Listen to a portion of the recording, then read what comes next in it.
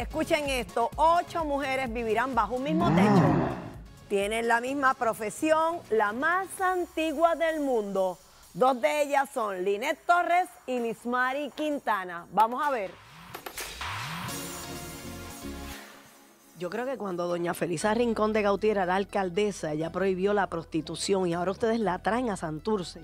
Bueno, este, no, no, nosotros, eh, el que quiera venir, que venga, no, nosotros no estamos vendiendo, nos, nos están comprando. Es que es muy distinto. Además, yo no, yo no vendo placer, yo vendo amor. En el caso tuyo eres una duquesita. Le dicen la duquesita, sí, porque es una mujer, eh, se crió en Alemania con sus padres adoptivos y pues al perderlos, pues ahorra un dinerito, regresa a Puerto Rico y le pide a Madame Lou que le dé trabajo. Y pues donde único puede trabajar es donde Madame Lou tiene su casa de mujeres. ¿En alguna época de tu vida fuiste a algún centro así o quizás de varones? No, de varones jamás, porque yo creo que todavía no. Pero fíjate, grabando una novela. Todavía no. No, grabando una novela. Bueno, pues fuimos a ver muchas veces este, obras donde habían, qué sé yo, No, strippers. strippers. No, yo no, yo fíjate, nunca fui. Pero sí. Ay, por eso te a casaste con tu marido, que están tranquilos. Ay, tan divino. Ay, él me hace, él es mi stripper. Pero no, eh, Sí, sí, fui. preguntar. Eh, Pregúntaselo, pregúntaselo para que tú veas él me, me baila, me baila salsa en cantidad. Pero no, este, Hello.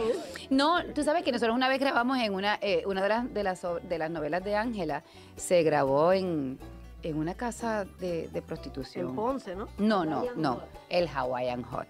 el Ah, Hawaiian ok. Hot se llamaba. Así que, pues mira, tuve la oportunidad de visitar una casa. Yo no había En nacido. el caso tuyo, Liz Mari. No había nacido para esa época. Ni cuando se hizo esta obra tampoco había nacido.